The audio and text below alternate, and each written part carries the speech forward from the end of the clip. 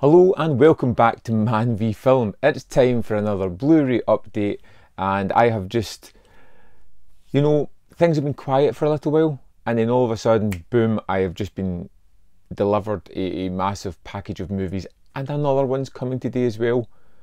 It may be time for an intervention. So we have a bunch of movies here that I'm going to talk through and this is going to be really interesting because I know absolutely nothing about um, any of these. Yeah, seems like it. So we've got uh, Eureka, we've got Terracotta Films, 101 Films, 88 Films, lots of Italian, Asian, uh, AGFA titles. Let's just dive into these movies of which I know absolutely nothing. Wouldn't this be fascinating? First up from Eureka, we have Odd Couple. Now, another one of those Sammo Hung, uh, Lau Kar Wing titles. Um, those two guys were together in Knockabout and Dreadnought. Dreadnought I loved, Knockabout are still to watch, and I picked this one up because these seem to be kind of going pretty fast. Um, and and they've got oh the collector's problems. They've got that uniformity of the packaging with the slipcover, um, and I really like that uniformity because I, don't know why, really, but I do. Um, so I picked that up, and to be honest, I generally uh, have enjoyed all of the movies so far, and I'm sure that'll be uh, much the same. One that I posted a deal on the page, uh, remarkably cheap, was Meet the Ball Machine. Now this was posted as a limited edition. It's come with the the slip cover and um, some extra stuff inside it, and it just looked crazy utterly crazy. I had no idea what the plot was, what was going on, but for five pound odds, it just looked mental. One thing that bugs me about this, and again, it's the collector mentality. Why do such trivial things really bug me? The blue case. The blue case is something I don't get often these days because everything's clear. And that, that just just seeing that annoys me. oh, I, I don't know why. Uh, new movies from 101 Films in their AGFA range, and a title that I am genuinely super excited about checking out because it just looks mental. God Monsters of Indian Flats. Um, a weird sheep like monster terrorizing people. It looks hokey, silly, and I need to see this. I have been really enjoying the AGFA releases. I think 101 films taking on these are, are something wonderful. They're very different, not for everybody, but I, I particularly am really enjoying them. This looks crazy. Again, it comes with another movie, um, which this one is The Legend of Bigfoot from 1975. And I'm sure it'll be hokey, uh, low budget stuff, but you know what? I, I like it. I can't wait to check this one out. This might be the first one I watch out of all of these. Uh, next up from the AGFA range from 101 Films is Drug Stories. Now, I believe this is kind of an amalgamation of um, various drug preventative uh, little short films. So I'm not too sure what to expect from this one. Uh, curiosity has me more than anything. Um, and I, I don't know. I don't know. Check them out. Uh, 101 Films very kindly sent me these ones, so I'm like I said, I'm super excited for God Monsters. Now on to some 88 Films titles, which I got with some birthday money that I had. A lot of them were pre-orders, and they just all kind of fell through the door today. Again, I'm just like overwhelmed with movies to watch, which isn't a bad thing. But work keeps getting in my way. What a hassle. Anyway, first up we've got Jackie Chan in Half a Loaf of Kung Fu. Looks very comedic, very silly. We have got uh, Jackie Chan on the cover with somebody's scalp and hair. Uh, all these images from Kung Fu Bob usually allude to things within the plot. It looks pretty crazy. I know nothing about this one. It's Jackie Chan. Of course I was getting it. I hope it's one of the better ones. Next up from 88 Films near Shaw Brothers range, number 35, and that is Hero starring Yuen Biao and Yuen Wah.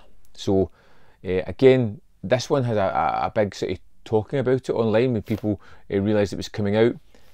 I know very little about it, as I do with all of these titles, but the Shaw Brothers releases are something that I, I've always loved throughout my life. Remember watching them when I was younger, but now I'm getting really kind of passionate about them with uh, 88 Film Shaw Brothers range and with uh, Arrow getting into it as well and discovering a lot of these fun ones has been great. Now, the difference between, in my opinion, the Shaw Brothers from 88 and the Shaw Brothers from Arrow is they were all kind of similar style movies within the Arrow box set.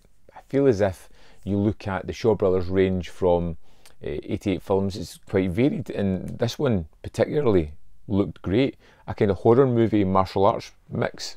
Human Lanterns, uh, rated 18, which gives me all kind of hope. Uh, and this one just looked super fun, very atmospheric, very spooky, and I, I don't know what to expect. Are we going to have more of a martial arts spin to it? Is it going to be more of eking into kind of black magic uh, or seeing of a ghost? That kind of craziness. Is it going to be an amalgamation of both? I really hope it is because that could be super fun. Uh, this is number 33 in uh, the Shaw Brothers range, which is a collection that I've I've almost got all of them now, I think. I should really do a video on the 88 film Shaw Brothers stuff. If you'd like to see that, let me know in the comment box below. Next up, we have uh, an essential pickup. And I do mean essential. It is from the Italian collection. Um, not sure which number it is. Must be in the 70s or the high 60s. And it is a Violent City. Charles Bronson, Telly Savalas, Poliziotteschi. I I'm uh, I'm in my element here. Uh, a couple of actors that I absolutely adore, um, in a kind of subgenre that I utterly love. Sold, and uh, because a lot of these 88 films were bought with uh, birthday money, uh, and uh, one that I was in two minds about getting, but when I was doing a live stream, a couple of people really kind of pushed me towards that, and that is uh, Zeder from the Italian collection as well. Directed by Pupi uh, uh, Avati, and this was um, the director of quite a few uh, Italian classics. Um, most notably, he's got one coming soon, uh, which looks pretty great as well. I can never remember the name of it, but it was a kind of Agatha Christie murder mystery. Zeder didn't jump out at me, and it seems to have a mixed reputation. One that makes me a little bit wary but of course, I will go into it with open arms because I do love the Italian collection. It's one of those genres of movies that I've grown to love within the past five, seven years. Um, pretty much down to Arrow and 88 films, just finding all these Italian classics and just falling in love with the Italian genre movies uh, from the 60s up to the 90s has been just an absolute joy to just go through. So there we have it, a monster video of pickups. All I need now is time, just simply time to sit down and watch these things. I have got a watch pile now that is getting to the uncomfortable stages. It's starting to overgrow and overwhelm, and I really need some time to just sit down, relax, and watch some movies, which hopefully I'll get to pretty soon. I'd love to know your thoughts on any of these titles. Which one should I prioritise? Which one should I wait? Is there a specific movie I should leave until I'm in a certain mood? Uh, would you recommend? Have you watched? Are you picking any of these up? I want to know in the comment box below.